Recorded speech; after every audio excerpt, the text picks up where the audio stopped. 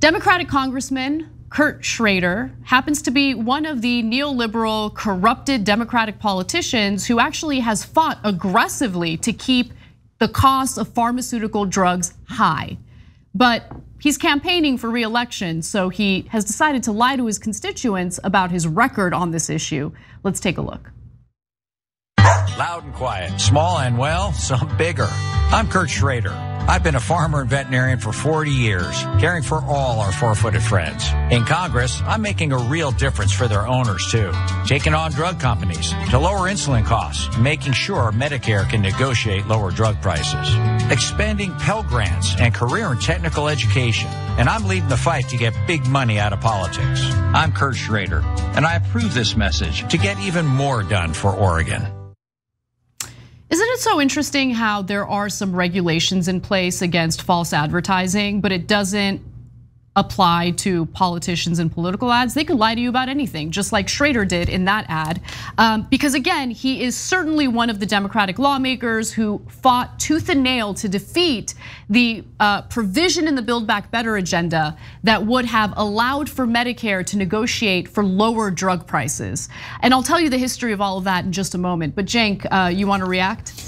Yeah, uh, look, that is deceptive political advertising 101. Nicely done by Schrader. He's one of the most conservative Democrats in Congress. Uh, and ironically, that ad was paid for by drug company money. Uh, while he said that he's fighting against drug companies and wants to get big money out of politics. In reality, he took the big money from drug companies and ran that ad with it. And then uh, surrounded himself with cute animals too. Oh, Cenk, but he likes dogs. Isn't he a good guy? He likes dogs. Yeah. There was a corgi. There was a corgi in that ad. I mean, it's like ridiculous emotional manipulation, but more importantly, he's a liar. He's a liar. So let's get into what his record actually indicates. So again, he played a key role in watering down the Democrats' efforts, I should say progressives' efforts, to rein in prescription drug prices. Schrader maintains that by voting for the Build Back Better Act, which contained provisions empowering Medicare to negotiate lower prescription drug prices, his credentials on the matter remain above reproach. But Schrader's campaign does not mention that he would not have supported the drug price provisions if House leaders had not granted his wish to grant Medicare weaker negotiating power than the bill originally contained. So he did water it down. Uh, Schrader originally joined Democrats in supporting a prescription drug pricing bill called H.R. 3. That bill would have enabled the Department of Health and Human Services to negotiate lower drug prices on at least 50 prescription drugs covered by Medicare. Uh, so already super watered down, but he turned his back on this as well. The limited number of drugs subject to negotiation already reflected a compromise with progressives in Congress who fought to raise the minimum from 30 to 50.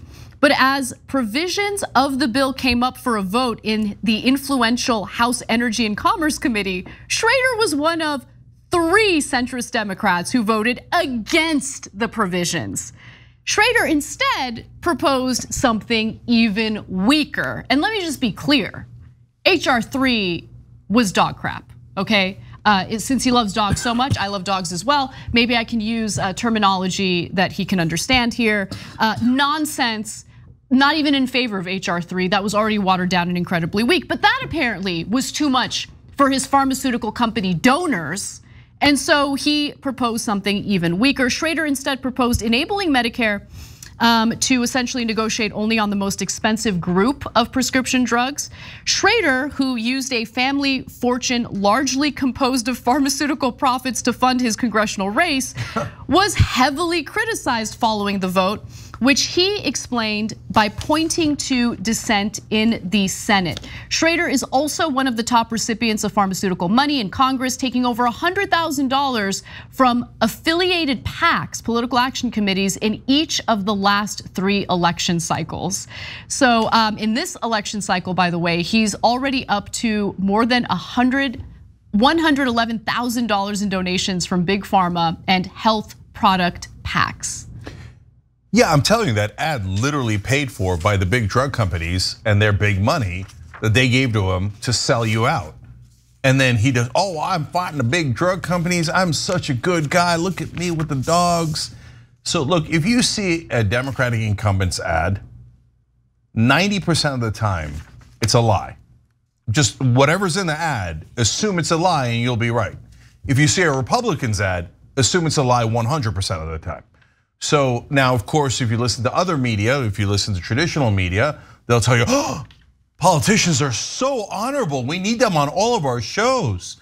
And we need their advertising dollars flowing to us to the tune of billions of dollars. That is why they are so honorable. You guys are so terrible for pointing out their actual record. He took more money from the drug companies than almost anyone else. Mm-hmm.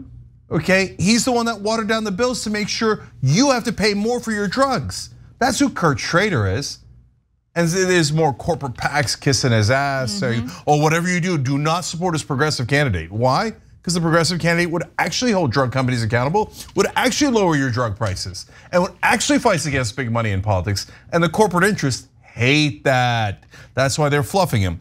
Uh, he actually does have a progressive uh, opponent, by the way. JamieForOregon.com. Check it out. Uh, it's uh, Jamie McLeod Skinner. JamieForOregon.com. We'll put the link down below.